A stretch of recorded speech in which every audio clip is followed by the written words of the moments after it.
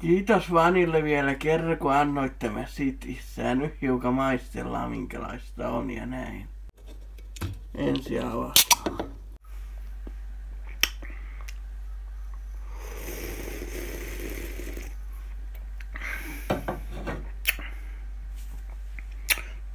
Red Bulli oikein sellainen, mikä antaa